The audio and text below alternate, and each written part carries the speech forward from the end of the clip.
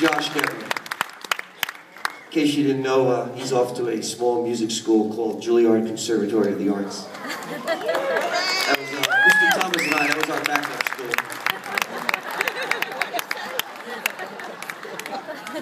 Anyway, we're going to close with a very, very explosive percussion piece, Mr. Joe DeSantis.